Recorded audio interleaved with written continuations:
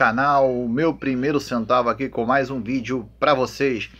E o vídeo de hoje, vamos falar da Páscoa. Uma Páscoa diferente. Mas enquanto nós estamos contidos pelo pânico, pela indiferença, pelo medo em geral, pela desconfiança e pela incerteza de um futuro, vamos ver a ótica, né, do ovo, né, que é o símbolo. O coelho, o símbolo da fertilidade, e o ovo, que é o símbolo da vida, o símbolo que nasce uma nova vida, a célula. Essa é a Páscoa. E Jesus Cristo falava assim: Eu sou a vida, eu sou a verdade. Conhecereis a verdade e a verdade vos libertará. Eu sou o pão. Ele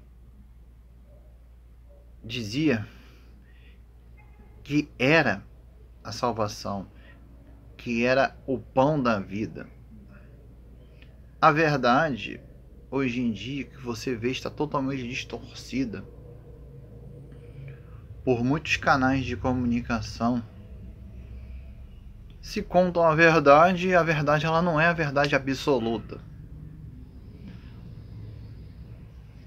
Eu sempre falo, desde que eu do final do ano passado eu comecei a fazer esse canal, eu me comprometi a dizer a verdade. E quando se fala no Cristo e se diz na Bíblia que ele ressuscitou, é a chance de nós ressuscitamos, é a chance de nós renascemos, é estilo o mito da Fênix também. A Fênix ela ressurgiu. Então, é a chance de nós termos a chance de ressurgir, de ressuscitar.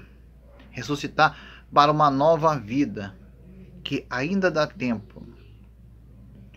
Tem gente que não está acreditando.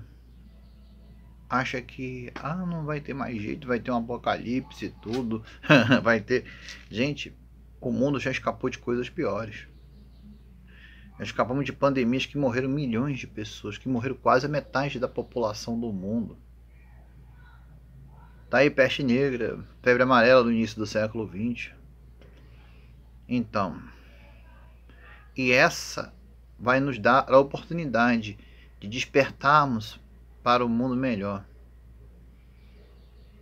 Só agora muitos estão entendendo sim a verdadeiro significado o que o que o Cristo queria dizer. Cristo jamais queria começar um movimento político, nunca quis começar isso. Ele falava: "Dai a César o que é de César e a Deus o que é de Deus". Eu, meu reino não é nesse mundo. É isso que ele queria pregar. Ele queria pregar o amor entre as pessoas, a solidariedade entre as pessoas. É isso que nós temos que fazer. Além de nós começarmos algumas coisas, nós temos que ter esse pensamento. É procurar a forma de ajudar as pessoas, ajudar também as pessoas a saírem dessa desesperança, desse medo total. É isso que eu tô propondo. Meu canal não pode, pode não ter acesso nenhum, nem 100 pessoas ver isso. Mas eu acredito que um dia vai. Uma feliz Páscoa e um bom domingo para vocês. Vençam o medo.